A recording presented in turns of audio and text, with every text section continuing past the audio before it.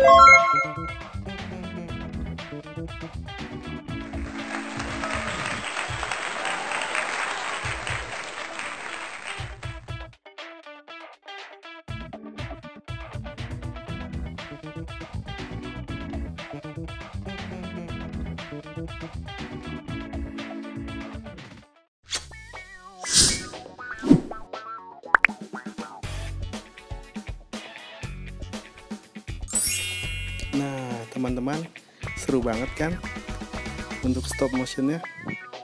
Oh iya, kalau teman-teman punya kritik atau saran bisa ketik di kolom komentar ya. Dan tetap dukung terus channel ini. Sampai jumpa lagi di video-video selanjutnya. Wassalamualaikum warahmatullahi wabarakatuh.